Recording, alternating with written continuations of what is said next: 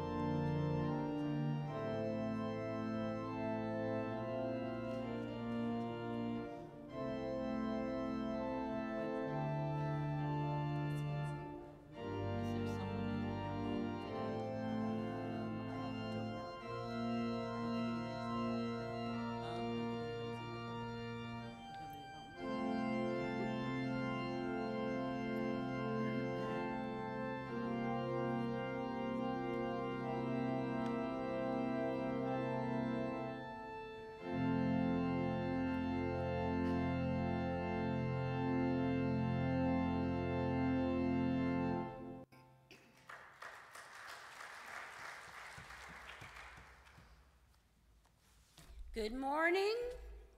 Good morning. Good morning. I thought I'd say something really clever or whatever, but your pastor took all my words. So I'm just glad to see you. I'm glad you came to join us. And let us start by reading the opening sentences. Excuse me. The dark uh, lettering is your response to what I say. Rejoice in the Lord always. All thanks and praise to God. Do not worry about anything. We trust in God who provides for us. Let the peace of God settle among us. Now, those that are comfortably able, if you will please stand, we'll do the opening hymn, which is 370 Rejoice, the Lord is King.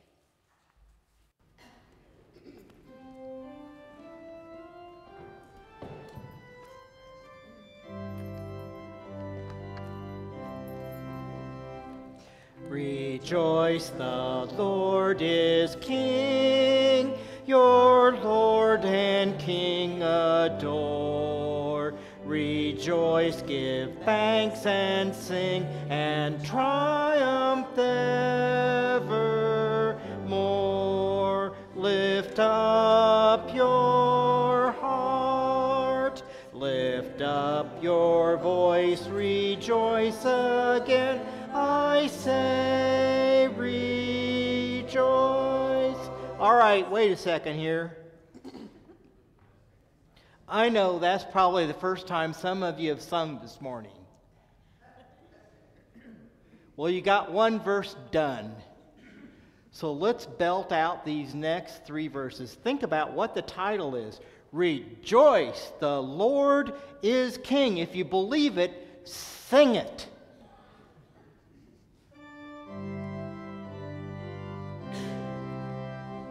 Jesus the Savior reigns, the God of truth and love. When he had purged our stains, he took his seat above. Lift up your heart, lift up your voice, rejoice again Say rejoice. His kingdom cannot fail. He rules o'er earth and heaven. The keys of death and hell are to our Jesus given.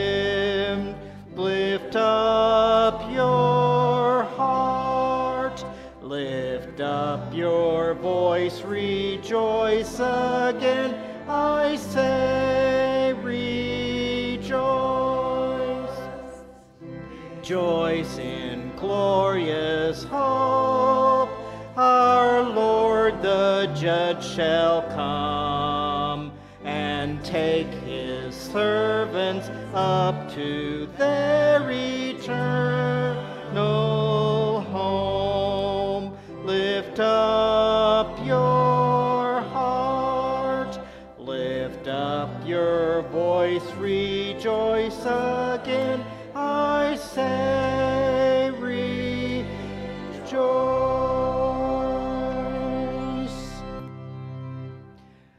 Jeff, there's your choir. All right, good job. From ancient times to now, God's people have turned away we are no different. We let fear take hold of us and try to go our own way. Let us be honest about how we have failed to follow God. Pray with me. True God from true God. We have not built a golden calf, but we have worshiped idols. We have put our trust in what we build with our own hands. We find security in what we can hoard instead of trusting your provision. Listen to lies that spread hatred and division instead of the radical truth of your word. Forgive us. Melt down our idols until we see only you and fix our sight on your way alone. God shows us a different way, a way of truth, honor, justice, purity, and excellence. This path is open to all of us if we reach out and accept God's forgiveness. Thanks be to God. We will live as God's people, forgiven and freed.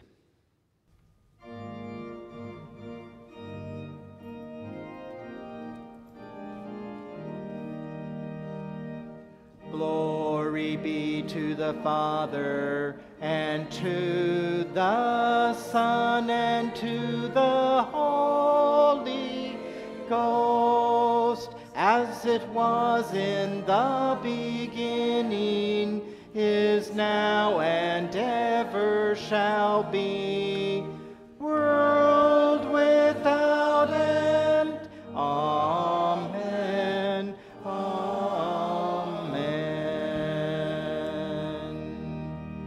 Please be seated.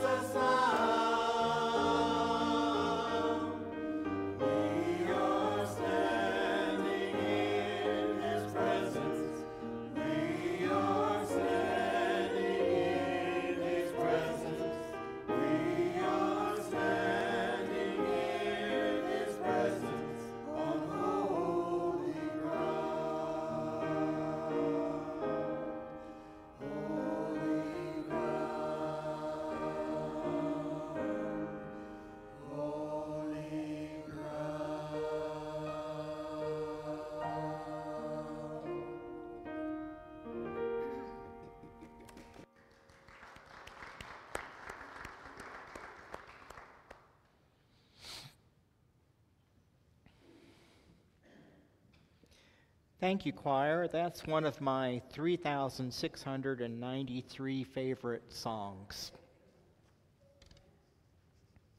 Let us pray. Gracious Lord, like Nicodemus, we come to the Word with many questions. Like the Pharisees, we can be captivated by correctness, intent on right answers. As we turn to your Word, Spirit of God, do not let our desire for information dominate our need for transformation. Let us hear the word and be moved to greater faith and obedience. Amen. Our scripture today is taken from the 22nd chapter of Matthew, and I will begin with verse 1. Once more, Jesus spoke to them in parable, saying, The kingdom of heaven may be compared to a king who gave a wedding banquet for his son. He sent his slaves to call those who had been invited to the wedding banquet, but they, they would not come. Again, he sent other slaves, saying, Tell those who have been invited, Look, I have prepared my dinner my oxen and my fat calves have been slaughtered, and everything is ready. Come to the wedding banquet. But they made light of it and went away, one to his farm, another to his business, while the rest seized his slaves, mistreated them, and even killed them. The king was enraged he sent his troops and destroyed those murderers and burned their city. Then he said to his slaves, The wedding is ready, but those invited were not worthy. Go therefore into the main streets and invite everyone you find to the wedding banquet. Those slaves went out into the streets and gathered all whom they found, both good and bad so the wedding hall was filled with guests. But when the king came in to see the guests, he noticed a man there who was not wearing a wedding robe. And he said to him, Friend, how did you get in here without a wedding robe? And he was speechless. Then the king said to his attendants, Bind him hand and foot and throw him into the outer darkness, where there will be weeping and gnashing of teeth. For many are called, but few are chosen. This is the reading of God's holy word, and it can be trusted as the truth.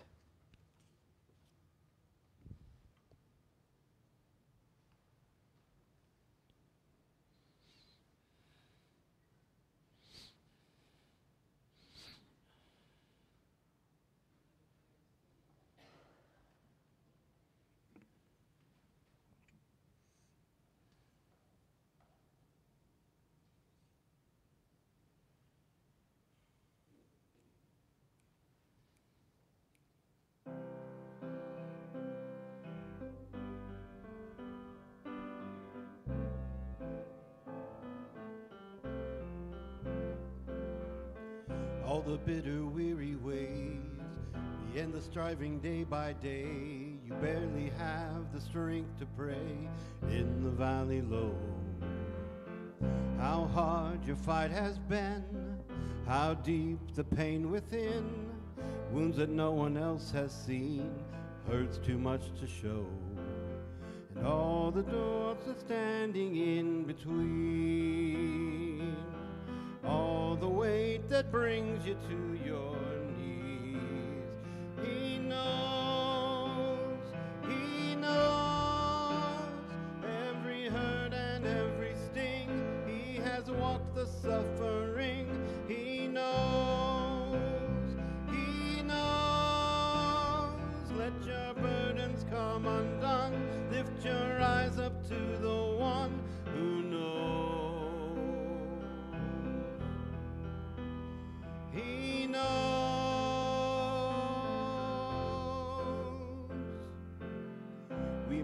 and we may sink, feel the pain and near the brink. But the dark begins to shrink when you find the one who knows the chains of doubt that held you in between. One by one are starting to break free. He knows, he knows every hurt and every sting. Has walked the suffering. He knows, he knows. Let your burdens come undone.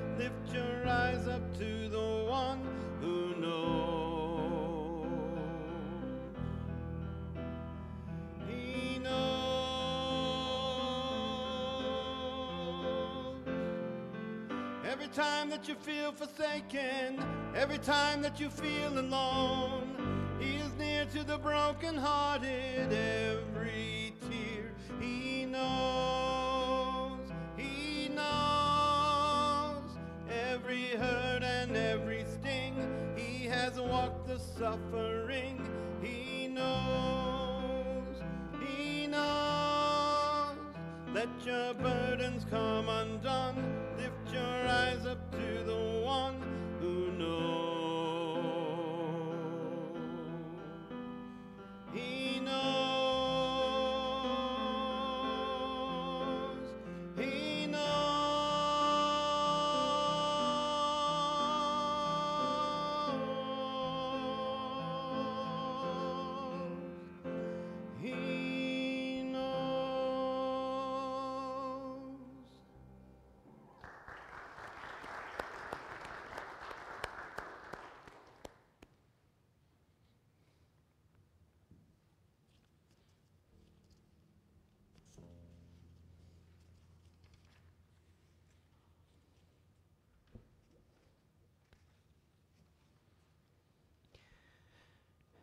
God is looking for a few good people.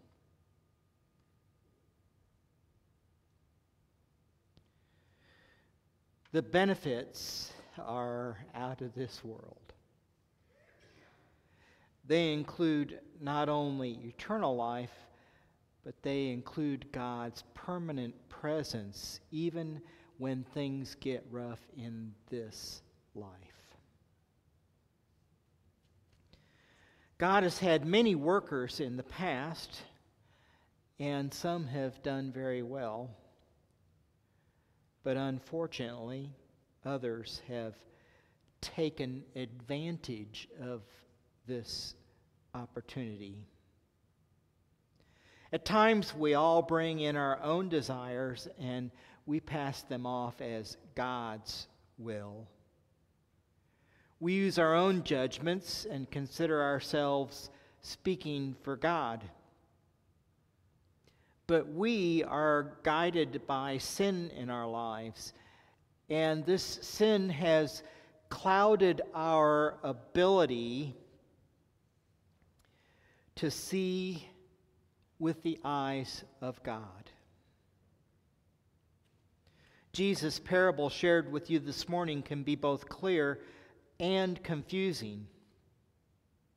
A king is having a wedding feast for his son. I like weddings. I like the food. They can be fun. It's great to see family and friends gather together for almost any occasion. I would think that a prince's wedding would be pretty spectacular. Been a while, but did any of you watch the wedding of Prince Charles and Diana? Lots of pomp and circumstance. And I bet they didn't skimp on the food either. You know where I'm going here? Food two times in three sentences. So the king sent out invitations. Nobody wants to disappoint the king. After all, remember, in Jesus' time, the king has an awful lot of power. Everybody said they would come. it was going to be a great time of celebration. Besides, the king is pretty important. There might come a time when we would really need the king to see things our way, right? So nobody wants to disappoint the king. The day of the wedding, nobody shows up. The king is surprised and sends out messengers to find out what's going on. After all, maybe the printers that did the invitations put down the wrong date. Maybe they put the wrong place. Maybe the king's calendar is off a day or two. This is not the usual response for a wedding invitation, especially that for the son of a king.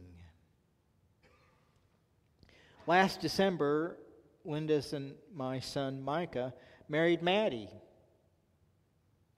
It was a fun time. The day of the wedding, there was some snow and just a slight bit of freezing rain. Some people called to say they didn't feel comfortable traveling in December with that kind of weather.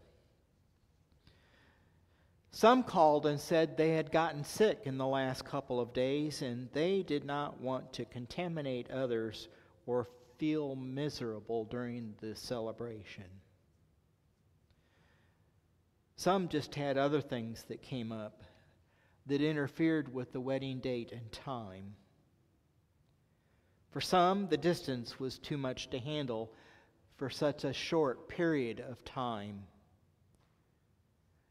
We were a little disappointed that these people couldn't come. But you know what? There were still lots of people there. Most of our family and friends made an effort to be there.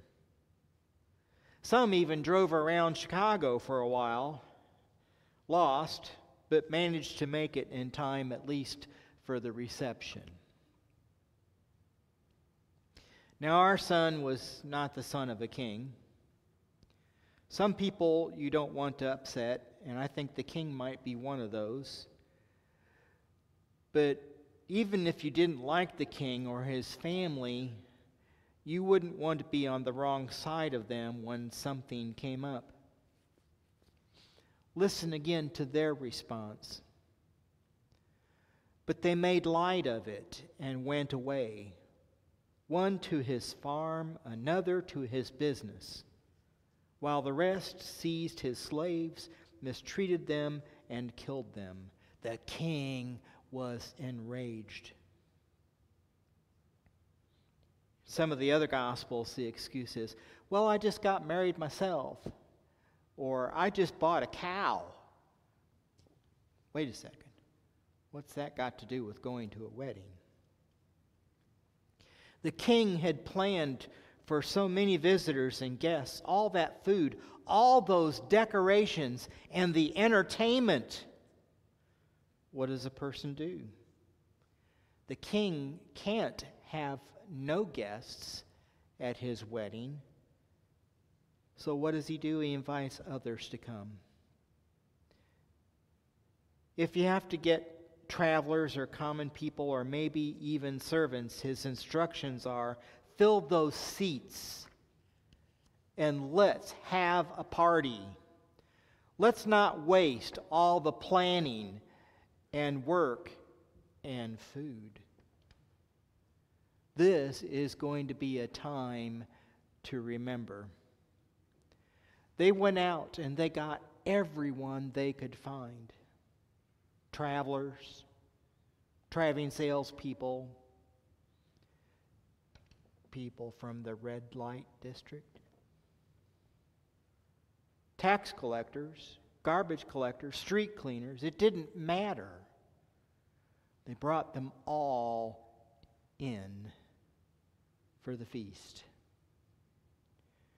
The king wanted every seat filled, every cup lifted in a toast to the newlyweds.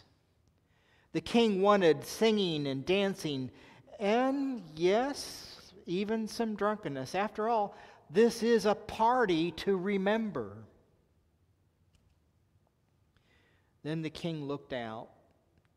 There, sitting at one of the tables, was a man who was not wearing a wedding robe. All he was doing was eating. All he was doing was drinking. He wasn't celebrating. That's not what the king wanted. He wanted people to celebrate, he wanted people to be happy. The man only wanted one thing, and that was his own needs to be met. He didn't care that the king's son was getting married. He didn't care that this was a, a great day in the history of the kingdom. He was only looking out for his own needs. That's not what the king wanted. The king wanted a party. Well, there's the parable. And here's the bottom line. Whether we are the original guests or those invited in when there were no other takers, God doesn't care. But if we come to God only for our own needs, we need to be prepared to be removed from the party. So, what does it mean to receive an invitation to come to God's feast? What does that require of us? What does it mean for us to participate fully in what God is doing in the lives of humanity? Well, it's one of the big questions that our church must face today and that we must answer ourselves with our own conscience.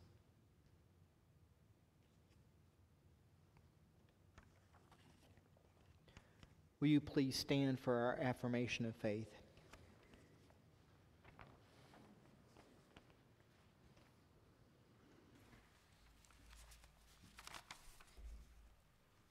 I believe in God, the Father Almighty, creator of heaven and earth. I believe in Jesus Christ, his only Son, our Lord, who was conceived by the Holy Spirit and born of the Virgin Mary. He suffered under Pontius Pilate, was crucified, died, and was buried. He descended to hell. The third day he rose again from the dead.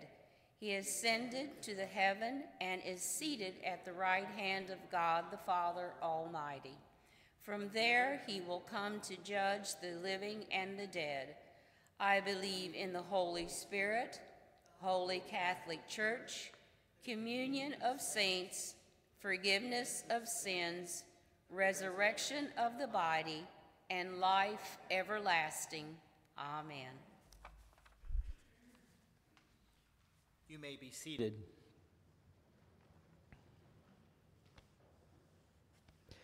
God calls us to be generous, not when all the bills are paid not when everything we need, excuse me, not when we have everything we need, not when we see our way financially clear. God calls us to be generous now, in this present moment, trusting in God who is our provider. And so we give freely as we have received freely we love fully as we have been fully loved. Will you please stand for our doxology?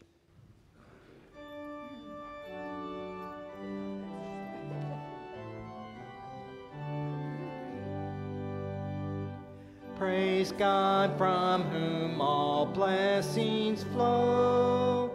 Praise him, all creatures here below. Praise him above, ye heavenly host. Praise Father, Son, and Holy Ghost.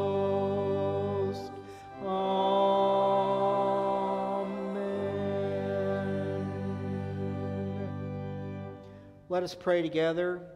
Accept the gifts of our hands and the thankfulness of our hearts and hands and voices, all lifted in praise to you, God of our life.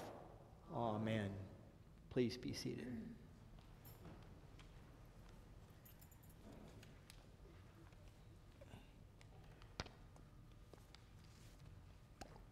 You may have noticed that I'm up here by myself today uh, due to some illness. So I am requesting that you guys be my backup. I'm doing I Am Free, which has a chorus that we do about four times. And when I point, you just repeat what I just said. I think you guys know it anyway. So.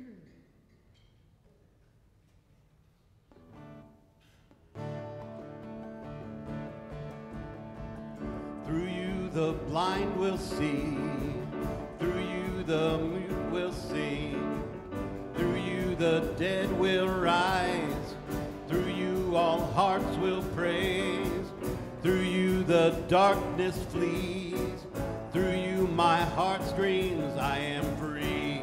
Here we go.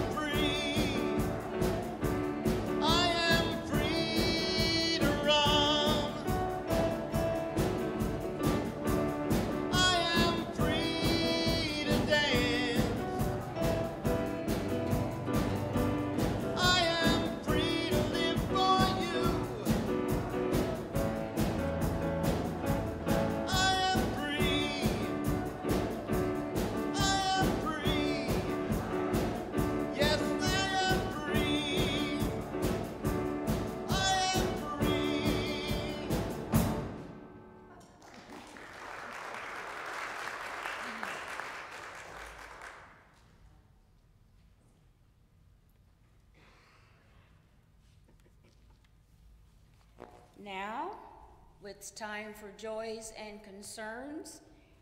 I don't have any cards, so I guess no one's happy. I have no cards for concern, which is excellent. But I do have a couple of reminders. Um, the deacons are doing the Papa Murphy's Pizza. Uh, it's a kind of a fundraiser thing, and it's October the 18th. When you get there, you should tell them you're from Third Presbyterian, and the offer is available at both Papa Murphy's. One is on 1712 Sangamon Avenue, which is across from Sangamon North, and the other one is 2641 Chatham Road, which is close to, I believe it's Schnucks on Montvale. On, so we hope you will all go and stuff your faces with good pizza. Papa Murphy's got the best. My other addition or comment or whatever is we really, really, really need everyone to take a turn being a worship leader, just like I'm doing. I know it makes you nervous, but you got cheat sheets. All you have to do is put your faith in God, open your mouth, and let Him fill it with what He wants you to say. So please consider signing up in the hallway by the fellowship hall to be a worship leader. Thank you and have a great rest of the day.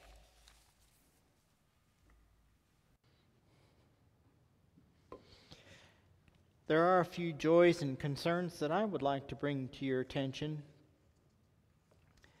You can't help but hear what's been on the news lately. But a story that's not being told is the thousands and thousands of women and children in Afghanistan that are suffering because of the now four earthquakes that have taken place there in the last two weeks. And our brothers and sisters are crying out to us, and if we can't help with financial help, which in this particular case we probably wouldn't be able to, the least we can do, I think, is to pray to God for mercy and justice. I don't know where you stand on the Palestinian Israeli issue. Both sides have correct things that they're stating, both sides have false things that they're stating. But you know who suffers the most? The innocent. And I think that we as Christians need to be literally and figuratively on our knees in prayer that when we think about the coming of Jesus, we think of him as being the Prince of Peace. I don't know where you stand in American politics, but one side has been against another, and often not for good reason, simply because the other side says or believes something and there's division in our country. I honestly believe, red or blue, that the church has an opportunity to be a healing salve for what's going on. That means our voices need to be heard, not only in prayer, but in our response. And on a little bit of good news, you probably all didn't know that Mitch has been pregnant. Mitch has been pregnant. So stand up, Mitch, and just give us a, a brief filling in here.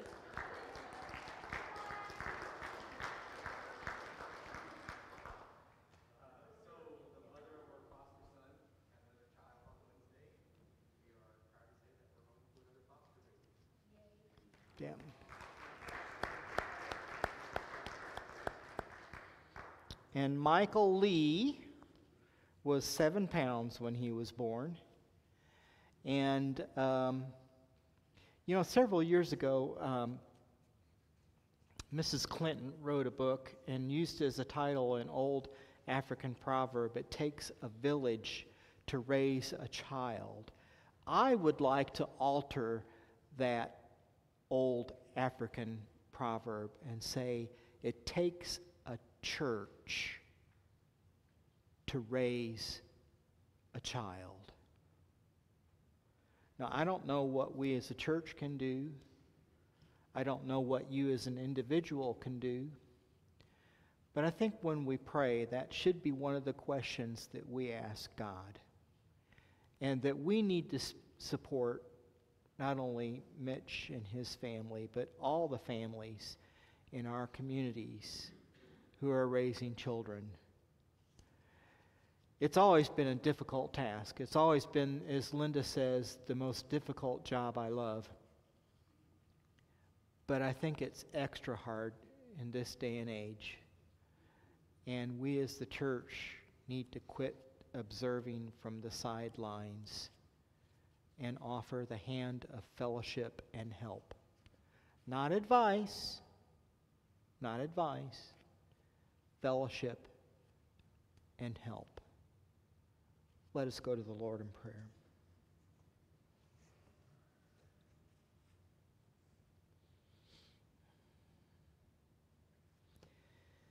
Heavenly Father, I don't know about a lot of the rest of these people here, but sometimes when I get in things, I get them so messed up. And I don't know what's up and what's down, and I don't know what the next step to take is. But ever since I can remember, Heavenly Father, when I have come to you in prayer, that you have given me a path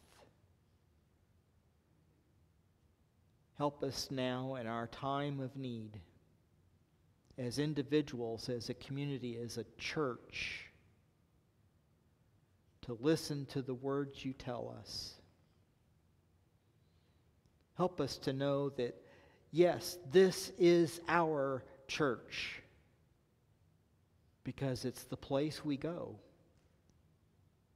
But only in that respect, that in essence, this is your church. Help us, Heavenly Father, to be as Jesus asked us to love you most, to love our neighbors as we love ourselves, and to recognize that being a Christian being the hands and the feet of Jesus, calls us to love and to serve others, regardless of who they are. Today, Heavenly Father, I will spend time with some family and friends, but there are a lot of people that I will meet, and they too are deserving of your grace. I pray, Heavenly Father, that I will be up to the task of being your representative. And my greatest desire is that this church would see that need also. And together we all pray as Jesus taught us Our Father, who art in heaven, hallowed be thy name. Thy kingdom come, thy will be done, on earth as it is in heaven. Give us this day our daily bread, and forgive us our debts as we forgive our debtors. And lead us not into temptation but deliver us from evil. For thine is the kingdom and the power and the glory forever. Amen. Our closing hymn is Rejoice, Ye Pure in Heart, 169. Now, you notice something that was similar with our first hymn? What's that first word? Rejoice. Now, if we were all at a local basketball game, I know we wouldn't sit there and just be quiet, would we? We'd be rooting for our team. Well, we're on a team. Let's stand up and sing this song Rejoice, ye pure in heart.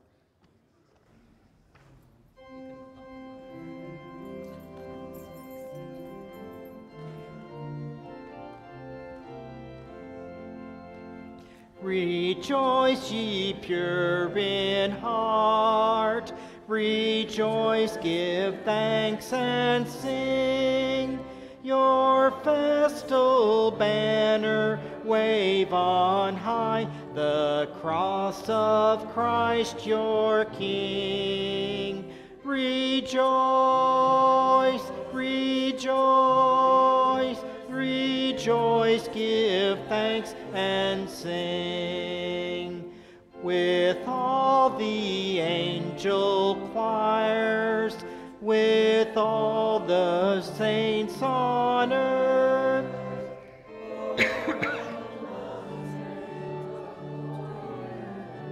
true rapture, noblest birth, Rejoice,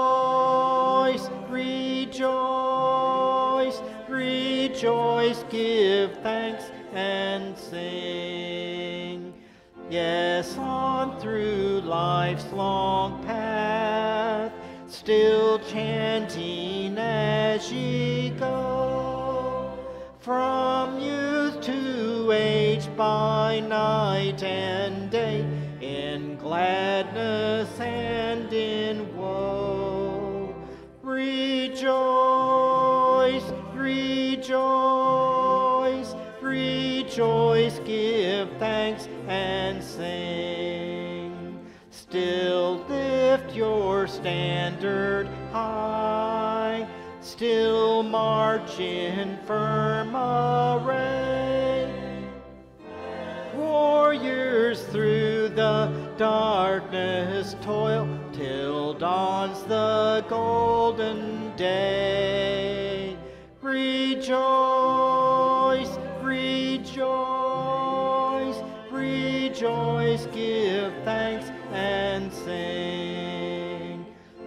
Praise God who reigns on high, the Lord whom we adore.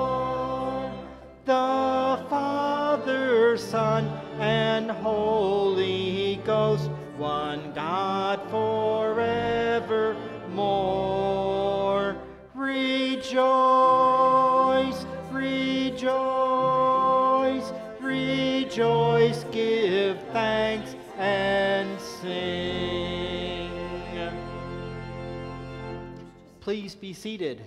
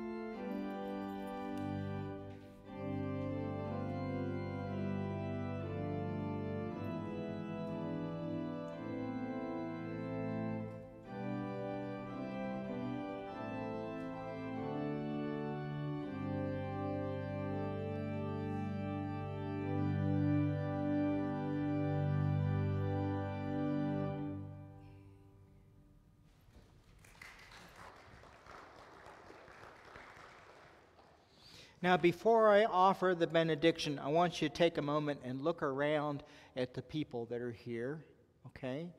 I want you, before you leave this morning, to go and talk to someone you haven't talked to this week and shake their hand and give them the grace and blessing of God. Now, there's some folks that can't navigate around the pews very well, so let's not leave them out. That means that you have to move in a hurry to catch some of them. Because we stand as one church with one Lord and one faith. May the God of endurance and encouragement grant you to live in such harmony with one another, in accord with Christ Jesus, that together you may with one voice glorify God the Father of our Lord Jesus Christ. Amen.